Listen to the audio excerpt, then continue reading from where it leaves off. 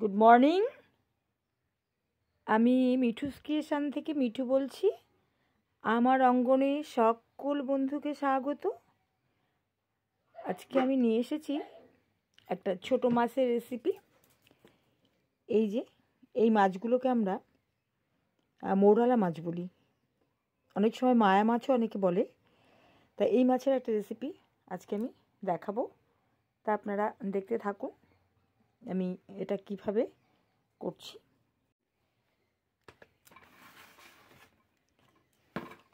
আমি প্রথমে দিয়ে দিচ্ছি আলু আর গাজর। তারপরে দিচ্ছি একটু বরবটি। দিয়ে দিচ্ছি একটু বেগুন।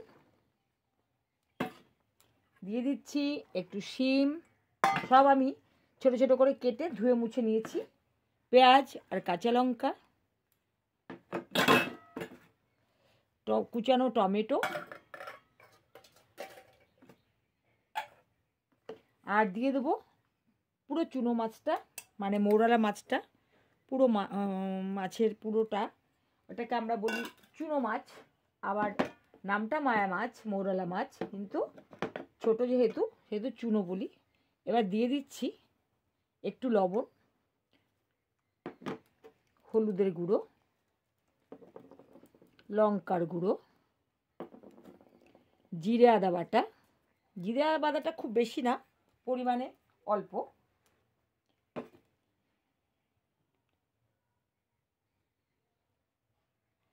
আর দিচ্ছি সর্ষের তেল।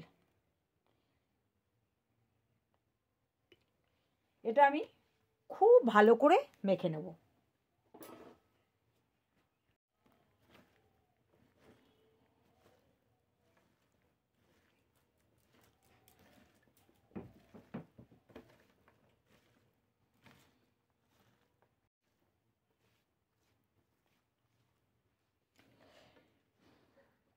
এইটা রান্নার পরে সবজিটা কমে যায়। সেই জন্যে যে পরিমাণ সবজি দেবেন, তার কিন্তু তিন ভাগ সবজি রান্নার পরে দাঁড়াবে গিয়ে। সেই জন্য একটু মনে হচ্ছে বেশি বেশি দিলাম, কিন্তু এটা অ্যাকচুয়ালি কমে যাবে। এইভাবে আমি দশ থেকে পনেরো মিনিট এটাকে রেখে দেবো। তারপর আমি এটা রান্নায় বসাবো। উনুনে কড়াই বসিয়ে দিয়েছি গ্যাসে। তেলটা দিয়ে দিয়েছি। আমি রিফাইন তেল, এক্ষেত্রে রিফাইন তেল ইউজ করেছি। আর মাছের যেটা আমি মাখিয়েছি, সেটা আমি সর্ষের তেল ইউজ করেছি। দিয়ে দেবো একটু কালো জিরে।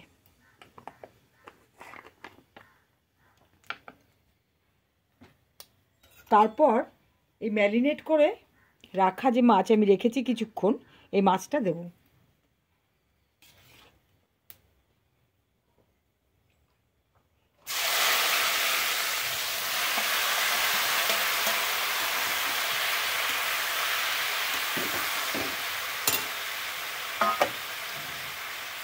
ছোটো মাছ ভাজলে মোটামুটি একটু শক্ত হয়ে যায়।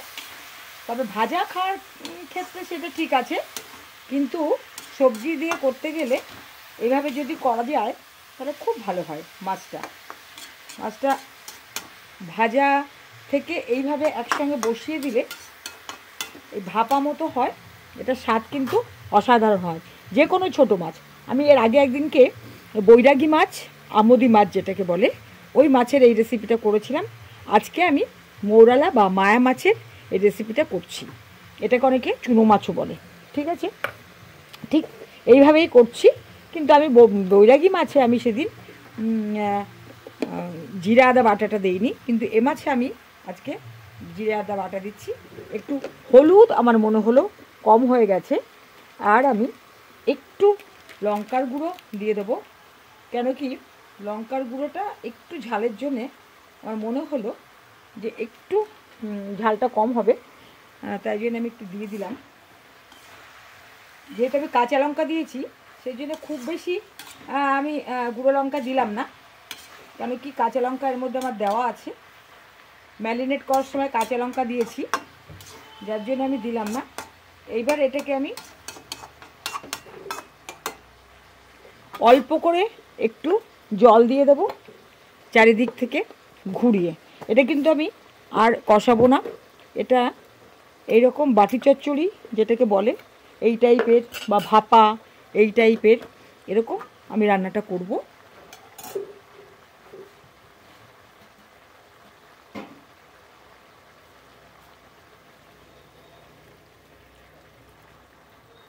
একবারে এটা বসিয়ে দেওয়া। ঠিক আছে? তবু আমি এপিট ওপিট করে নিলাম, কেননা তেলটা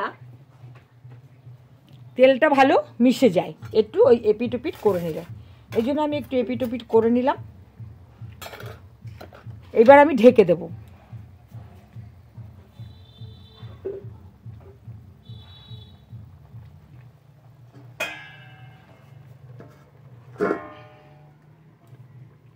ঢেকে দিয়ে আমি একটু চাপা দিয়ে দেবো। যাতে হাওয়াটা বেরিয়ে না যায়। সেই জন্য আমি একটা নোড়াটা চাপা দিয়ে দেবো। ব্যাস। এতে কি হবে? স্টিমটা থেকে গেল ভেতরে। সেদ্ধটা খুব ভালো হবে, তাড়াতাড়ি হবে, গ্যাসের সাশ্রয় হবে, সময়ের সাশ্রয় হবে। আর স্বাদটা, গন্ধটা সব এক থাকবে। মানে ভালো থাকবে আর কি। সেটা বেরিয়ে যেতে পারবে না তো? খুব সুন্দর হবে সেই জন্যে। ঠিক আছে? এটা আমি পনেরো থেকে কুড়ি মিনিট এইভাবে ঢাকা চেপা দিয়ে এটাকে আঁচটা মিডিয়াম আছে রাখব মানে ফ্লেমটা গ্যাসের, এইভাবে হতে দেব। মাছটা এবার আমি দেখে নেব। আমার পনেরো মিনিট হয়ে গেছে।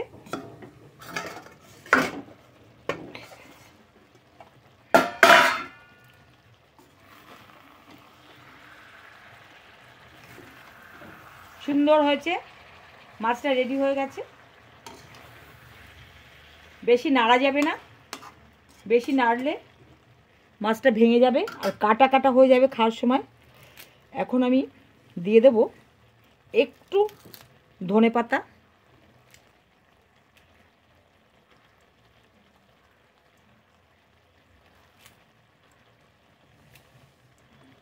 আমি বড় বড় করেই দিয়ে দিচ্ছি।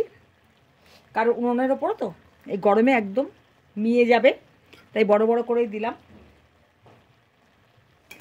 এবার এতে দিয়ে দেব একটু কসৌরি মেথি পাতা। আমি নামিয়ে নিয়েছি। একদম গরম এখন, ধোয়া উঠছে। এটা সার্ভ করতে একটু দেরি আছে, কারণ আমরা একটু পরে খাব। তবে হ্যাঁ এটা আমি এখন ঢেকে রাখব। কারণ এই কসৌরি মেথি এবং এই ধনে পাতার গন্ধটা যাতে চলে না যায় সেই জন্য আমি ঢেকে রাখব আর মেথি পাতাটা ঢেকে রাখলে বেশ সুন্দর নরম হয়ে থাকবে, তখন গন্ধটাও আরও সুন্দর হবে। রেসিপিটা ভালো লাগলে লাইক কমেন্ট করে সঙ্গে থাকবেন বন্ধুরা। আর নতুন বন্ধুরা যদি সাবস্ক্রাইব করেন, বলব প্লিজ বেল আইকনটা প্রেস করে রাখবেন। আর আবার দেখা হবে, আর আবার অন্য ধরনের একটা রেসিপি নিয়ে। আজকে এই পর্যন্ত রাখছি। নমস্কার, সবাই ভালো থাকবেন, সুস্থ থাকবেন, শীতের দিন খুব মজা করে খাবেন, ঘুরবেন, ফিরবেন, আনন্দে কাটান। আবার দেখা হবে।